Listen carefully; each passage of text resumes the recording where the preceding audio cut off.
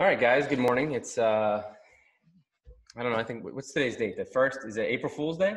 April Fools, yeah, but we're still not playing baseball, so I don't know. This, is, this isn't a joke anymore, I guess. I think that's the joke, really. But I think uh, you know, obviously, it's for the best, and um, we're uh, here this morning going to talk about a little bit of a uh, little bit of baseball mechanics. Uh, this is so I'm, I'm Pat Healy. I'm uh, the owner of uh, Healy Chiropractic in the Maine Athletic Health Center and uh, we're putting together uh, just some collaborations with some professionals, specifically coaches, because we are um, we're we're biomechanics. We do a lot of movement pattern stuff, and we um, try to uh, combine that with the technique that you know. I wouldn't say I'm an expert in technique, um, but somebody like my friend Justin here is, and so we are just kind of talking about some things that kids can be doing um, while they're out of sports and not not really um, working with their full team to maybe develop some of those skills and uh, improve their warm up patterns, stuff like that. Yeah, absolutely. So my name's Justin Courtney, and uh, for me, I'm the owner of Punch Out Pitching, and uh, was a former Division One baseball player at the University of Maine, where uh, I met Pat, and and uh, during my 2018 season, I had Tommy John surgery, and I had to work on basically my rebuilding my entire arm.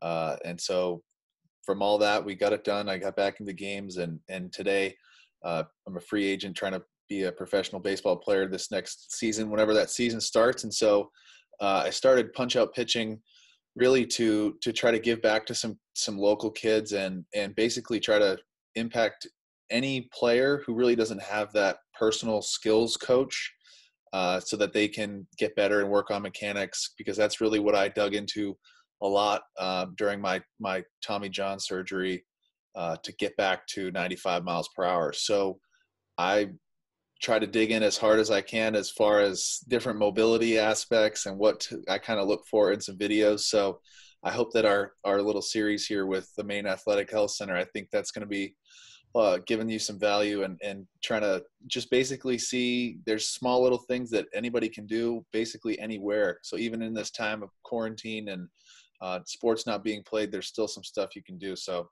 yeah, and we're we're closed right now. Obviously, we're uh, you know doing what we can to try try to flatten the curve, as they say. I saw a great um, picture this morning of uh, Fred Lynn uh, from the former Red Sox player posted his version of flattening the curve, and it was I think him hitting a line drive of some sort. So I saw.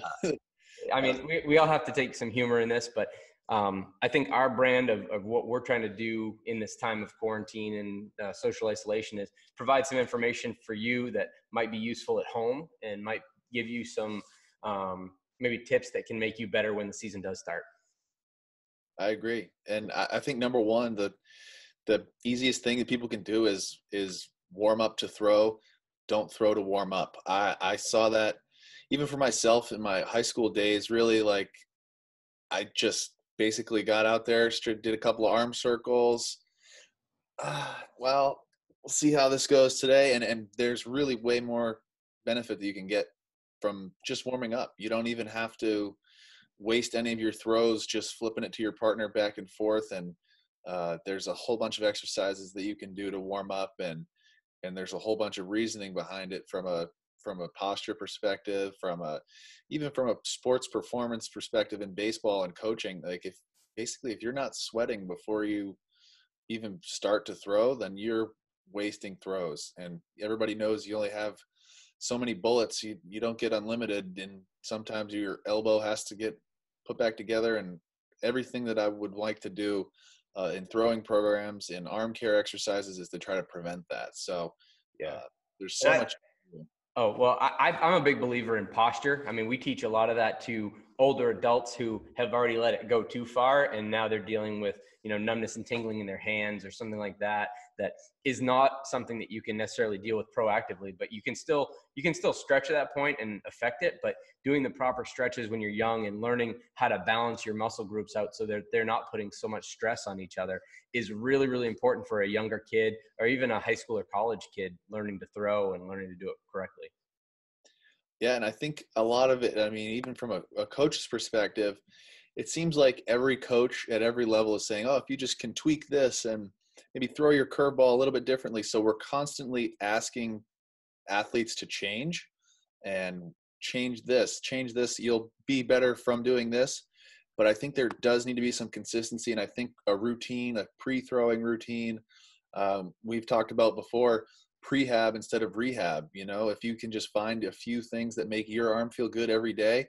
Uh, something with my own players, I, I completely stress being healthy, being mobile, being strong. That there's really, if you can be an athlete and you're healthy, it's if you do no good to your team if you can only go out there once every 10 days and let it rip you know there's there's something to be said for recovery and uh, so it, it, i think it's, it's often overlooked i know it's people only have limited amounts of time sometimes to be in a high school gym.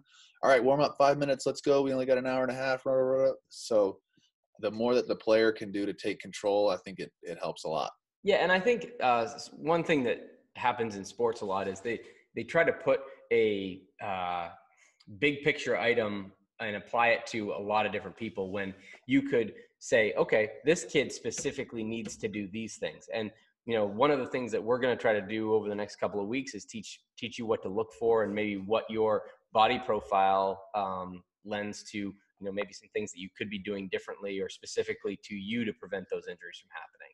Um, I, I think it's it, it's just so important to realize that you know you're not going to get to throw every day but just because you can't throw every day doesn't mean you can't do some stretching and some warm up to just kind of pr- get that tissue softened up and prepare your body for when you do get to throw yeah and i have i have a few exercises really if you have a any resistance band i mean there are so many that you can get um you know just off the internet or or even for like you know you probably have a band or something laying around the house. I've got one. I might have one right here. Yeah. Yeah, and even I mean, there's a specific brand that's pretty popular in in baseball right now, but even that red one right there, like a TheraBand or whatever it is, um, you know, a few everybody's sort of seen the shoulder internal external rotation at 90 degrees and I really like that one the best as far as to prepare me for throwing and uh, you know rotation, uh, forward reverse flies with that upward rotation. Uh, you could even do supination, pronation, bicep, tricep. So if I was, let's, um, so if I was going to tie something down here, uh, and I want to do at 90 degrees. So I'm, I want to keep my shoulder right at 90 degrees, correct? Yep. Okay. And I don't need to have a ton of tension on that, just enough to get the resistance, correct? Exactly. And you want to make sure that elbow basically is staying right at 90 degrees and you're not dropping it to pull it back or you're not like really shrug, shrugging your shoulder to pull it back. So as, as much of that 90 degrees, I sometimes like to teach, you know, like a field goal, you've got both sides and you just take one side down and you're going like that. Yeah. So I think, I mean, it's, you feel it start to burn after just a few repetitions, just getting those muscles firing. And I think that's an important lesson too is uh, muscle activation. You know, what you're doing when you're warming up is teaching the muscles how to be pliable and how to move the way you want them to. So you're teaching that muscle to do the most simple variation of what it's supposed to do so that when you put it into a complex movement pattern like throwing, it it's working effectively and those um, muscle fibers are all working together for that. Absolutely. And I like doing that, especially at 90 degrees, because you kind of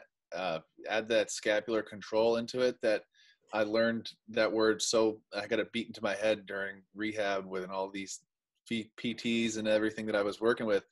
And even like upward rotation stuff, if you can just take a, a forward fly and raise your arm up, and even if it's a, a you know, it's just a simple exercise. If you just add that element of rotating your rotating up above. So if you got one right there, just imagine that you had two in your hands and you go to the side and then straight up and back down.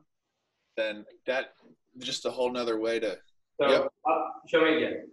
So you go straight across or pull it across and then try to go straight up and then back down to the side and back in. Yeah. So what are you thinking for reps, Justin? What are you what are we gonna recommend as part of a warm up, if they're doing the you know internal external rotation at 90 and the what do you call that? What do you call that? I call that either a forward or a reverse fly with upward rotation. So the both of them I'd probably try to do for 12 reps each. Um, and if you wanted to, could go through the whole series twice uh, before you throw, do it one for 12, and then after, do it again another set of 12. Um, there's kind of a full. I mean, you, you, can even imagine how many exercises you can do with uh, yeah. that band right yeah. there. But next time we'll we'll go over a full warm up for them. How's that? Sounds good to me. But I think there's you know you kind of hit the big ones right there, and um, we'll see if it's it's warming your arm up to throw here in a little bit. And honestly, if you don't if you don't have a band, I I believe very simply in just pinching your shoulder blades back.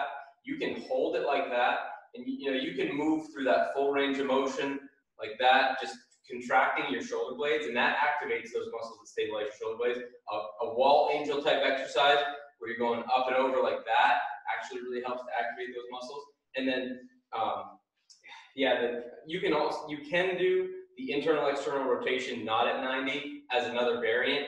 Um, I think it's more baseball and softball specific if you are at 90 though. I I agree, and uh, even if you're like the wall angels that are like pushing pushing up against the wall just like you did, you can you can even like stand like that up against the wall and push into the wall like that position. At that position, you can go above and push into the wall. Yeah, and no excuses really. I mean, you don't even need a wall. You can just activate your muscles by pinching back like that in the middle of the room. So absolutely. Um, so uh, you saw Justin the other day. I, I, posted a video where I was throwing, and people were guessing how fast I was throwing. Yeah, people people were giving you some big time credit right off the bat. All right, so some some tips that you gave me. What where we where we start? So I was here. Uh, let me get in the shot, okay? And then I you bring you, you okay start your stance. Come up here. You're you said stand tall here, right? Yeah. So that posture that that you're in, uh, a lot of times players will they'll be in their motion and then sometimes they'll get really small or they'll start to lean back or there's a whole bunch of different things that you kind of get inefficiencies when you're trying to throw and you're leaning off of it. So uh, wherever your posture is at your your balance point stay in it that whole time and step straight to your target. Okay. uh, i think that helps a lot. And if you were on a side view you'd be able to see that arm come up and be inside of 90 degrees. So right, right about here, right? Yeah. And so your front arm is basically your your sight to the plate, and that elbow is what's driving you. You know, you can direct everything from there, and then this arm is going to stay inside at 90 degrees. It can, it can be at 90, but a little bit inside. You just don't want it to be out really long because then it'll have to you kind of have to use your shoulder and your elbow real hard to whip it around. So we just talked about keeping your arm inside of 90 when your foot lands. That way it's easier to just whip it around. Yeah, and, and the big reason for that is actually because it takes torque off of your shoulder and your elbow when you're in that position. You don't want to be out here extended because it's just like a long lever. If you're lifting up a weight out here, there's a lot more stress on these joints to do that. Whereas if you keep it in close to your body, you take the stress off those joints. So, uh, Justin, you're, I mean, you speak firsthand to this. So you suffered from uh, UCL injury in college, right? Yeah. So it kind of came out of nowhere for me. I was kind of told I had good mechanics or uh, was just really getting good results so that I didn't really have to change all that much. And then uh, I almost came back the next year, less than a year later, throwing harder than I was before. So there's definitely some adjustments that I made, but like an easy look on some video is when your front foot lands, where is your arm? Is it down, up? You, or is your elbow inside, outside 90? Or you can kind of just look and see, all right, you can draw that that angle. All right, I'm good there. All right. Well, let's see if your tips paid off. And uh, we got a radar gun. We're going to see if I can get over 60, right? Let's do it, yeah. All right. So I've, I've already warmed up pretty well. I'm going to just kind of loosen up. This is, you know, how long should how long should a kid spend warming up before they start I, I like to think 15 to 20 minutes if you really want to get hot. Uh, I think that a lot of times people are only given five to 10. So if you can just get there early and make your own time, right? I, that's what I'm going to say exactly is get in there early, get your own time. It's only five, to 10 minutes extra, but your body will definitely thank you for it because you need it to throw and throw consistently, especially if it's you're in a cold weather climate. Like me, your body's going to be hurting at 38 degrees if you're trying to try and rip a ball as hard as you can. Yeah, snow on April 1st, right? Yeah. Oh boy. All right. So we're gonna do our best here. So I'm gonna get in a full shot right here. Stand up tall. Up here, I'm gonna open up to within 90, and then I'm gonna follow through down like that. We'll Yep. see. If this, we'll see if this pays off here.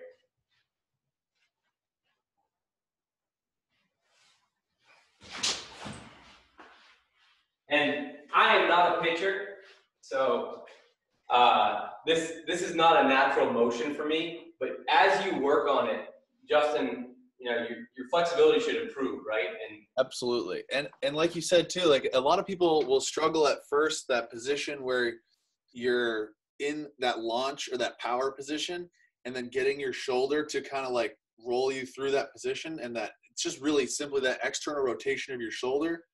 If you can get it to open up and that's how you'll be able to whip through that motion and not get stuck because when we were talking earlier, some guys feel like they get stuck when they are at this top and then they try to throw. all right, So it just and most of the time I'll just try to say make it smooth and make it fast. all right. Well, let's see if I can do that.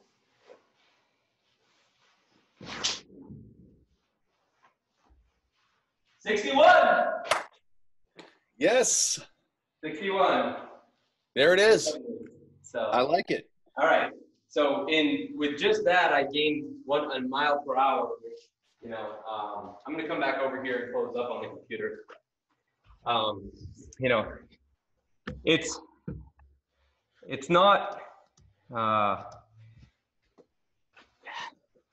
you know, coaching and biomechanics they go together, and um, I mean, I think posturally, I'm big on posture, hip strength, balance, and baseball is a very one-sided sport. So the stuff I'm going to teach and, and show you is all how to develop that coordination that isn't necessarily directly related to baseball, but it contributes to how you get better. And then the stuff, you know, Justin here has the know-how on the technique and combining those two ideals um, can go a long, long way.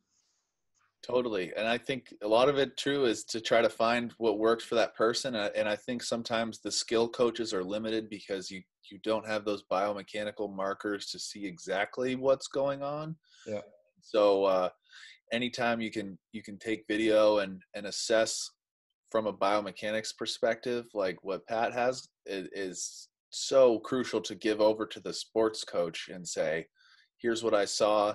And then you can almost it kind of tips you off to those things that the athlete needs. And then you can give them, okay, I like how you do this with your arm, but if we could try this and adjust this to that. And so you can, you can almost uh, use the, to go hand in hand with the assessment piece. And then you can kind of tailor that personalized instruction uh, based off of that. So Yeah. I mean, we, so we got about a minute and a half to go. Um, and I mean, I think my takeaways from this are, you know, make sure you're warming up. Take the time that's needed to do that because that's not just a tomorrow thing. That's a 30 years from now thing. And it matters. It really does. Uh, Justin, what's, what's your takeaway from today? Mine, mine is uh, warm up to throw. Don't throw to warm up. If that's there's anything you can take away, you don't want to waste throws Yep. playing catch. So make sure your body is ready. Uh, and if you're going to watch video, watch and see at front foot strike where that arm is, and see uh, see if it's inside 90 degrees or not. So yeah, if those are- somebody wants to send us a video too. I mean, we're not going to break down 100 videos on this, but if somebody, you know, whoever the first one to send something in is, maybe we'll look at it and go over it on on uh, conversation next week. for sure. Um, I'll comment on uh, the post once it gets put up, and I'll I'll put a still picture of you know what we're looking for and stuff like that. So will we'll, it be you? I could make it me. Yeah, that's a good idea. I think it should be you. I can do that. All right. Um, well, hey, Justin, it was great talking to you. Uh, and uh, yeah, well, let's do let's do this again soon. I like it, Pat. Thank you. All right, talk to you soon.